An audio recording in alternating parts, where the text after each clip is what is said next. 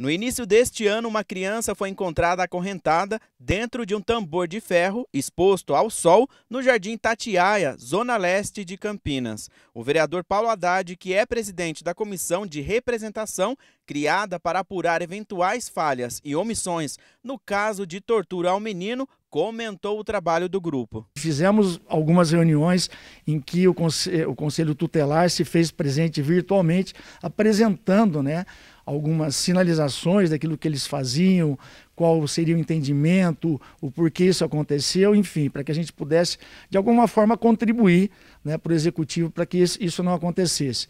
O caso aconteceu em janeiro deste ano. A criança de 11 anos contou para os policiais que não comia há vários dias.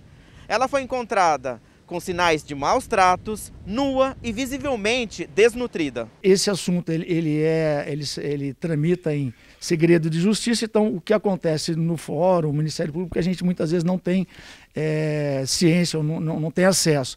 Mas enquanto comissão a gente mobilizou o legislativo para que a gente tivesse um enfrentamento, uma sinalização para a população do, do, do, da importância do legislativo se é, pronunciar, se fazer presente, de investigar quais seriam as, as situações e o porquê isso aconteceu, né, que é o mais importante.